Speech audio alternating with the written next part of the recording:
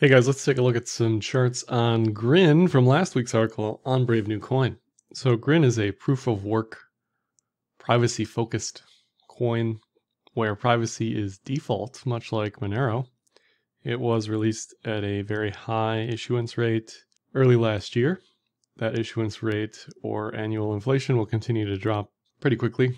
That's currently around 83%, which is one reason why the chart looks like the way it does if you are trading this, buying it, and hoping for it to go higher, you have to pay attention to things like the inflation because that will just kill any short term store value potential. So I think the best play, again, not investment advice, but the best play would be to just buy and hold it several years.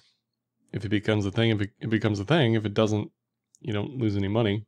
Ideally, you just dip your toe in, you know, you don't dive in head first in a five foot pool, okay? You don't kill yourself thinking you're going to have a grin moon. All right, let's look, look at all these metrics, but you can see grins, you know, this orange one, pretty much at the bottom of everything. One thing that won't show up on this table is the fervent developer community.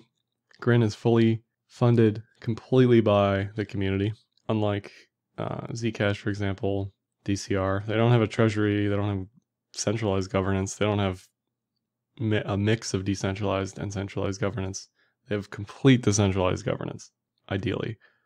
I don't think that'll go on forever, but in the meantime, that's how Grin is being developed. And again, just like Monero, there's no daily active address amount, there's no daily transaction value volume volume value because it's completely private, it's obscured. The idea is it sort of matches Bitcoin in many ways, but f- adds on top of it uh, Mimblewimble privacy. So here's the issuance, the uh, annual inflation, and the fill here. You can see it started, you know, at some insane value, trying to get distributed in the best way it could. It did not do an ICO, it did not do a pre mine. So, really, this is probably the best option because how else are you going to get coins to people quickly? You have to sort of build a community in some way, you know? And if people can't get a hold of the coin through an ICO, how else are they going to get it? They're going to get it through mining. It's going to start with a high issuance schedule. You can agree or disagree with that, but that's just what they chose. And again, it's currently around 83%. You can see this is the network difficulty. So to some degree, it's actually easier to mine now than it was a few months ago. But overall, the mining interest is certainly declined with price. So if you're mining this, you're probably mining at a loss regardless. And you're one of these long term holder people who aren't focused on probably even six to 12 month, but more like 12 month plus outlook as far as buying and holding this in some way or mining and holding this. It's probably cheaper to buy it on the market than to mine it, but that might be wrong. I'd have to look at the, the numbers on that. The line here is transactions per day. And the fill is fees. So you can see fees are way down there, pretty low. Transactions per day also at the lower end of the historic range. I think these transaction spikes represent mining pool payouts or some mining pool related thing. Not really sure. But you can see in general transactions per day have range between 2,000 and 2,500. If privacy becomes a thing, a concern, more so than it is now, uh, I can see Grin becoming popular, similar to XMR.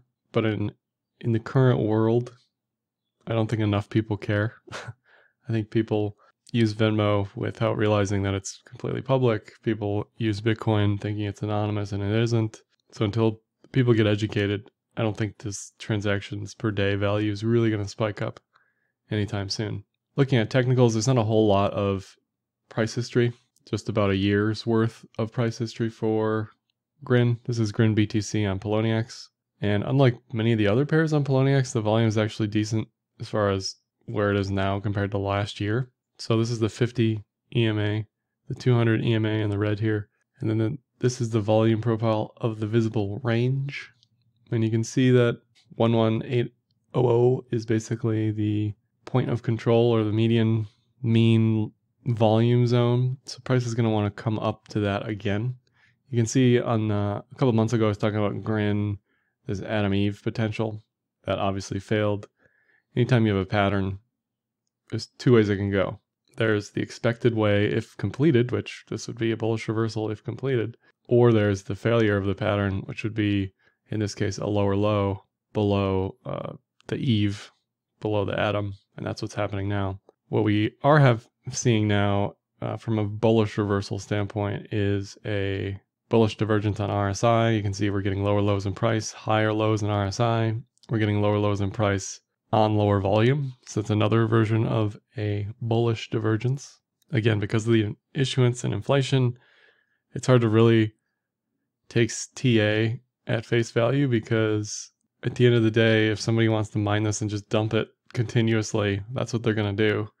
Similar to Zcash, I mean, the most bearish thing you can see is a slow bleed over multiple months.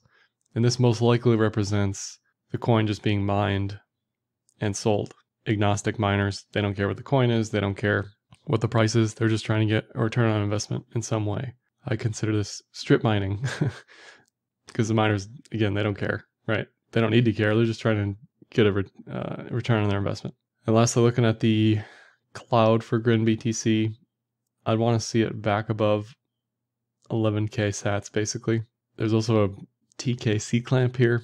Uh, let me show a good. Here's a good example of one that didn't actually pan out. So when you get the Kijun, this red line, and the Tenkan very far apart, you can think of it like an EMA mean reversion attempt in the making, because this says it's really oversold and it's going to want to touch this red line, this Kijun, which is the mean, at some point. And you can see this during this whole downfall, you get what's called a Tenkan bounce. So the Tenkan is rejecting this over and over and over and over again until finally it actually breaks above the Tenkan and then mean reverts to the Kijun. So similar here, what you don't want to see if you're bullish is a Tenkan bounce, so a rejection at this blue line. What you want to see is a return to the mean at the red line, stabilization recovery over probably multiple weeks, and then eventually the long entry is going to be above 11k sats, the, the higher probability long entry. Any long entries here are just mean reversion. They're, they are bullish divergence based. They are knife catching based. They're not based in TA. TA says leave us alone for the foreseeable future, at least on the trend metrics.